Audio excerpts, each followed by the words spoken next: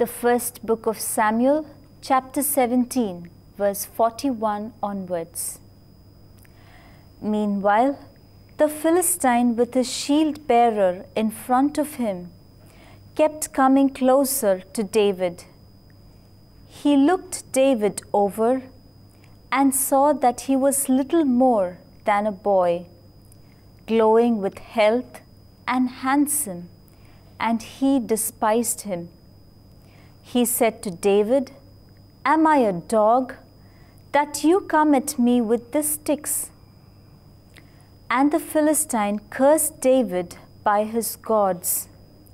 Come here, he said, and I will give your flesh to the birds and the wild animals. David said to the Philistine, You come against me with sword and spear and javelin, but I come against you in the name of the Lord Almighty, the God of the armies of Israel, whom you have defied. This day the Lord will deliver you into my hands, and I will strike you down and cut off your head. This very day I will give you the carcasses of the Philistine army to the birds and the wild animals, and the whole world will know that there is a God in Israel. All those gathered here will know that it is not by sword or spear that the Lord saves, for the battle is the Lord's, and He will give you, all of you, into our hands. As the Philistine moved closer to attack him, David ran quickly toward the battle line to meet him. Reaching into his bag and taking out a stone, he slung it and struck the Philistine on his forehead. The stone sank into his forehead, and he fell down on the ground. So David triumphed over the Philistine with a sling and a stone. Without a sword in his hand, he struck the Philistine and killed him. David ran and stood over him. He took hold of the Philistine's sword and drew it from the sheath. After he killed him, he cut off his head with the sword. When the Philistines saw that their hero was dead, they turned and ran. Then the men of Israel and Judah surged forward with a shout and pursued the Philistines to the entrance of Gath and to the gates of Ekron. Their dead were strewn along the Shaaraim road to Gath and Ekron. When the Israelites returned from chasing the Philistines, they plundered their camp. David took the Philistines' head and brought it to Jerusalem he put the Philistines' weapons into his own tent.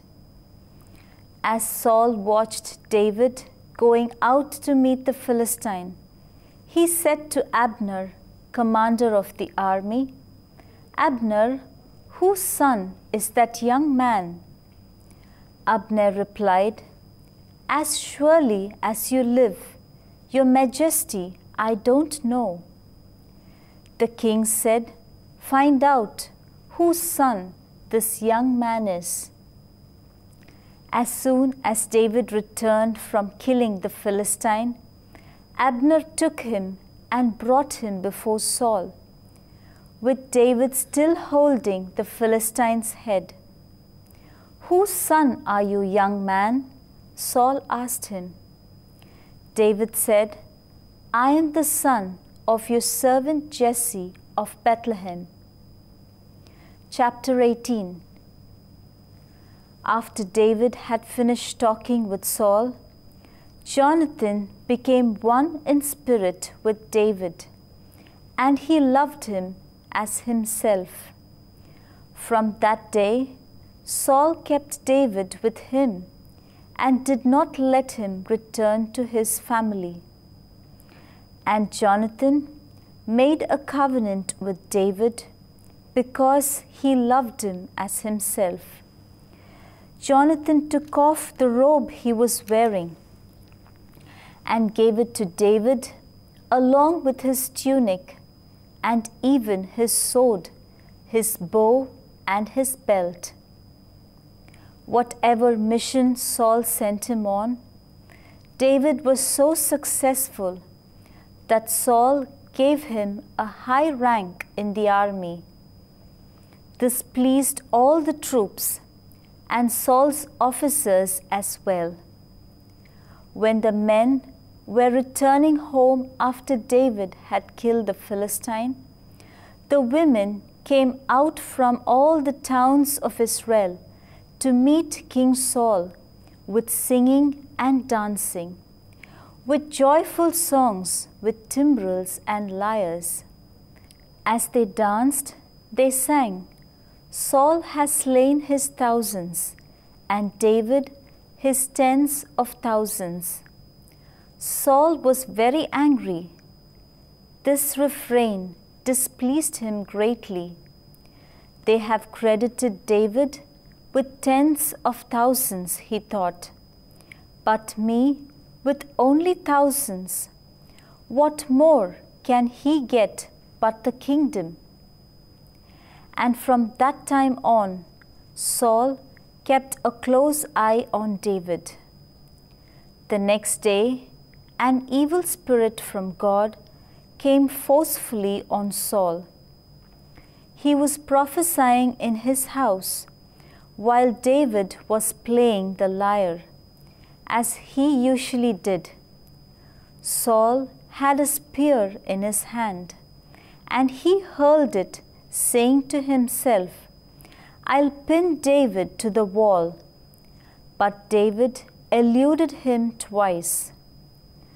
Saul was afraid of David because the Lord was with David, but had departed from Saul.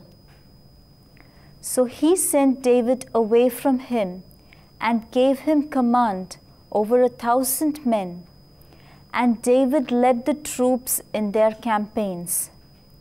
In everything he did, he had great success because the Lord was with him. When Saul saw how successful he was, he was afraid of him. But all Israel and Judah loved David because he led them in their campaigns. This is the holy word of the Lord.